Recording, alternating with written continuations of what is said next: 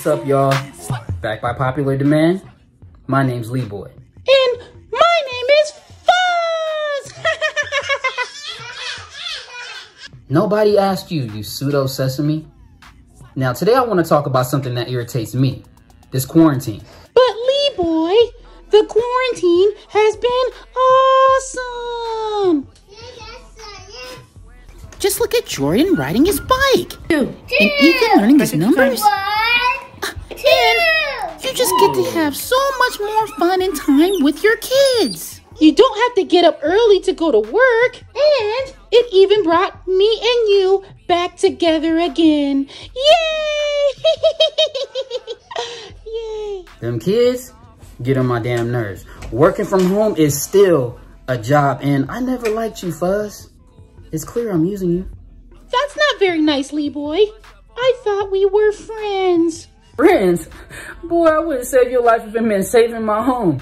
You ain't nothing but a pile of puppet pubes to me. And uh, this whole stay-at-home order is not helping. Because your voice, just the, the sound of your voice, gives me anxiety, bro. Whew.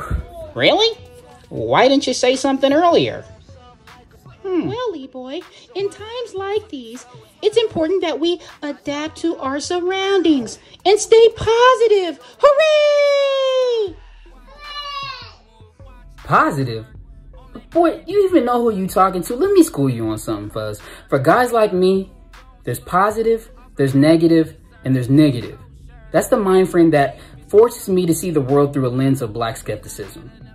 And what are times like these? Why do we even have to quarantine anyway? It's important for us all to stay home to flatten the curve of COVID-19 exposure rates.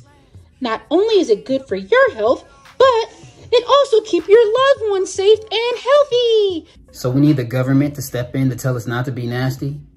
I mean, I get it, but none of that helps my mental health.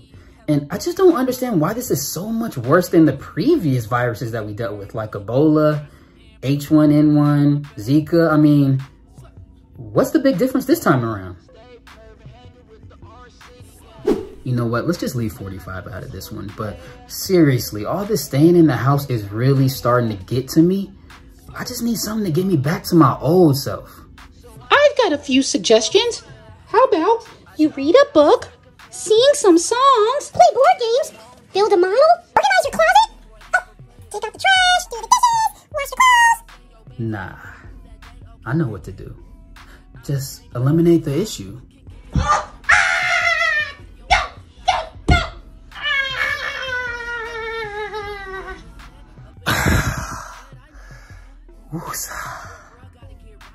So, like I was saying, I don't like this quarantine.